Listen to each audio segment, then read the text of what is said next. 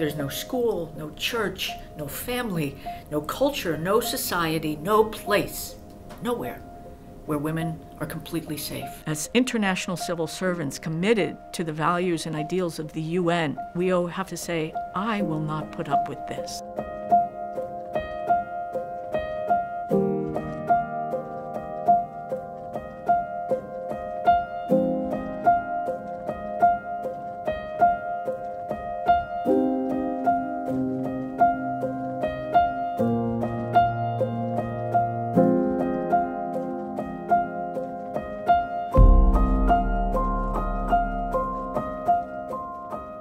To translate a victim into a survivor, you need to ensure that from the very moment that the victim can complain, the victim knows where to complain, the complaint will be taken seriously, investigated seriously, and any immediate assistance requirements or long term assistance requirements will be met, and hopefully there will be accountability through justice.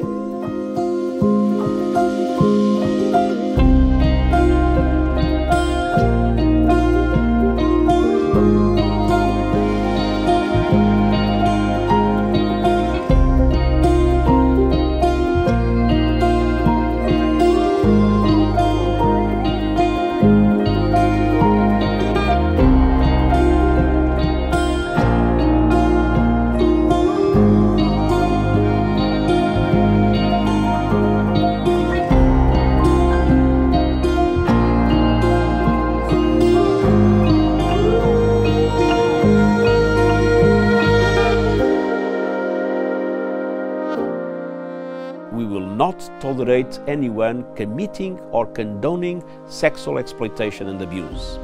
We will not let anyone cover up these crimes with the UN flag. Every victim deserves justice and our full support. Together, let us deliver on that promise.